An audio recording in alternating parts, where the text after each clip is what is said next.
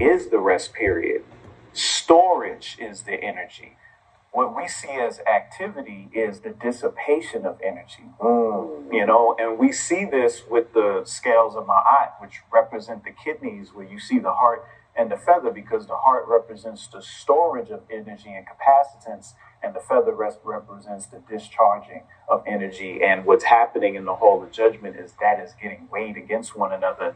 That's how they're able to know your deeds. Mm. And then our ancestors show us with the Yawa cross of the Congo, and even with Kemet, when you see um, Khepera in the morning, right? I talked about the fontanelle. We all know the fontanelle in the top of the skull is the Khepera scarab beetle.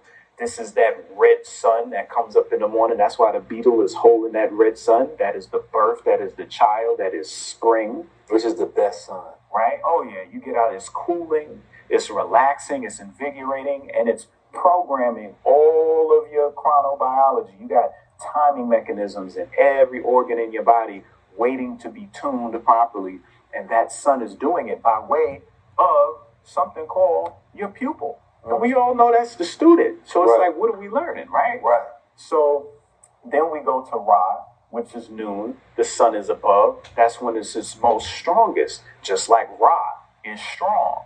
Then you go to Atum, and Atum is the old man, and he's he's getting old. He's wise, but he doesn't have as much energy. That's that setting sun. And then we get to Amun Ra. There's he's the hidden one. Mm. No light. That's when we're into the deep sleep and we're really doing the necessary regeneration inside of us.